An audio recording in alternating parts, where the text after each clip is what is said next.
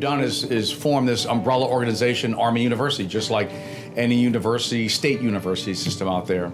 And what it's done is bring together uh, all our schools, training and education facilities, as well as our research capability, uh, our libraries, and all that under one umbrella that allows us to coordinate their efforts. It allows us to cross cue from one to the other.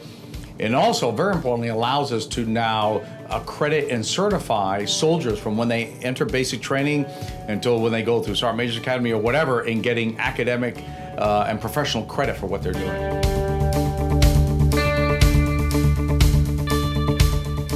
There's a couple things that uh, Army University will address and actually help us uh, solve as one of the challenges we had. One is uh, soldiers would come in the Army and get lots of different training, lots of different education, but it was never brought together under one umbrella.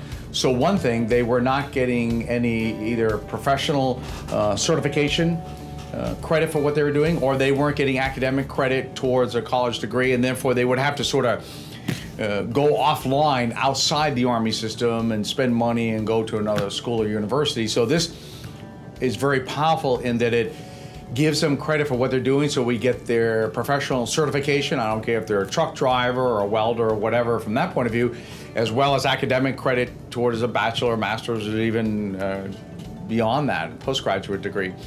So that's one thing they're going to get credit for. The other thing it does is it synchronizes all of our activity in TRADOC so that one level of professional military education easily leads into the other. We know what the prerequisites are here. We know what the outcomes are here.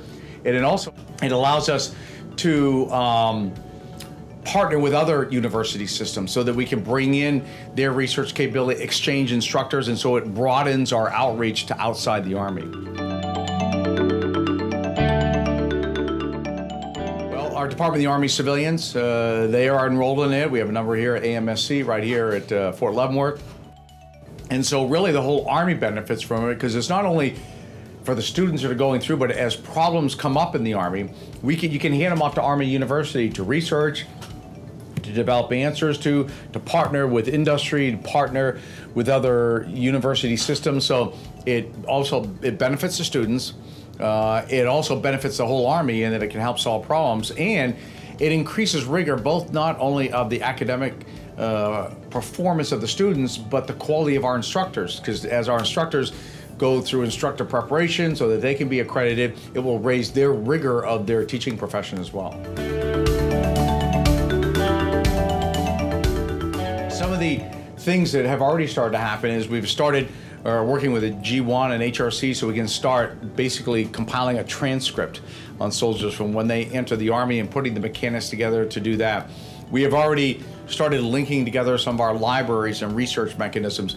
We are now able to coordinate across our centers of excellence and our other uh, educational components such as Command General Staff College are working very closely uh, with West Point uh, and the Army War College to say, hey, some of the things you're doing there, we don't need to reinvent them here. Some of our the faculty development that maybe they do at the War College or West Point can be not only used uh, at the Combined Arms Center, but in Cadet Command. So Cadet Command, a, a separate part of TRADOC from Combined Arms Center, can now benefit by being part of Army University, working with West Point, working with University of Louisville and other institutions like that. So it, it provides a lot of connectivity for people even outside the university system proper.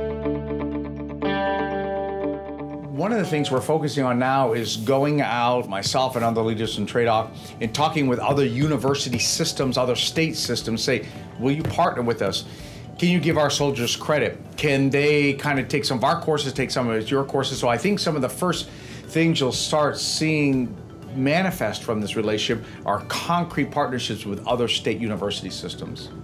And really, Army University is one of the ways that we can get after the capability that we are aiming for in the Army operating concept, win in a complex world. And it's that dealing with the complexity of the future, the unknown nature, the unpredictable nature of it, and the constantly changing aspect of it. So we've got to figure out how do we innovate faster? How do we bring together a multifunctional solution to these very complex problems?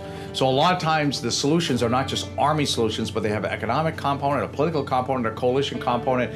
Army University is allowing us to bring these other functions into our training and education program that are part of the complex world our soldiers are going to operate in.